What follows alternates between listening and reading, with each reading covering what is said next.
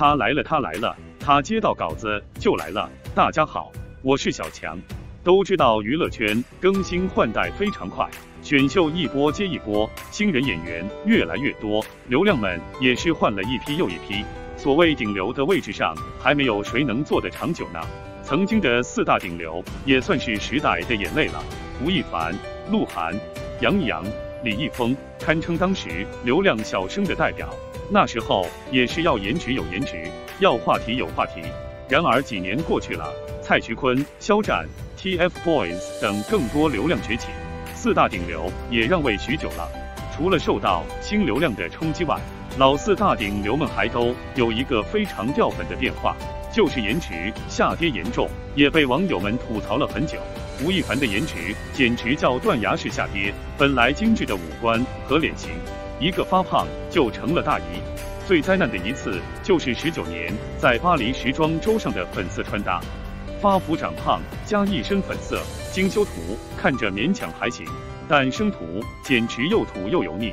之后，吴亦凡也是在长胖和减肥中反复横跳，终于在最近，吴亦凡在出席某活动的路透中，明显看到吴亦凡又瘦了，颜值也跟着回来了。瘦下来的吴亦凡，脸部轮廓分明，五官立体深邃，似乎看到了几年前没胖的吴亦凡。另一个发胖导致颜值下跌的就是鹿晗了。刚回国时的鹿晗看起来就是清秀又水灵的小鲜肉，而近两年来不仅长胖了，脸上还有点垮的感觉。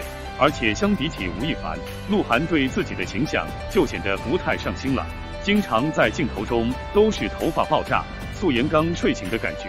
不过最近鹿晗的颜值也回春了，不久前的直播中，鹿晗的脸明显小了一圈。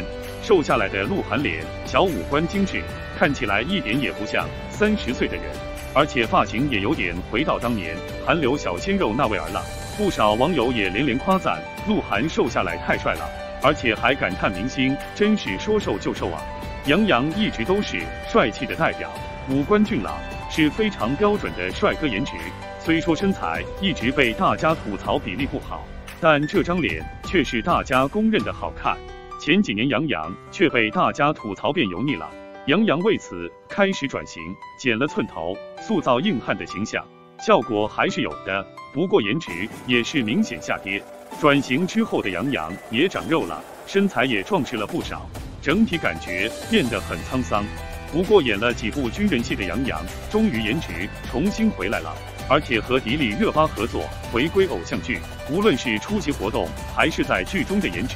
杨洋又回到了之前的帅气模样，五官深邃，轮廓分明，而且还有一种更加成熟的男子气概。而四大顶流中的李易峰也是颜值下跌过好几个档次，同样逃不过发福长胖，一胖起来完全就是中年男人的感觉。脸部本来就不是轮廓分明的长相，一胖起来感觉脑袋大脖子粗的，古装穿起来都显得壮实了不少，而且也没有那么仙气了。不过，明星真的似乎都是胖着玩玩。李易峰的近照中，明显看到他没有之前那么胖了，脸也小了不少，看起来又有校草的颜值了，而不是发福胖大叔的既视感了。虽说娱乐圈中流量小生层出不穷，不过这四位老顶流们依然是占据一席之地的。而且相比起现在很多只有热度没有作品的小鲜肉们，老四大顶流还是个个都有作品能打的。只希望他们能保持自己的颜值，不要再胖下去了。And，他走了，他走了。右下角点个赞，再走啊，老板。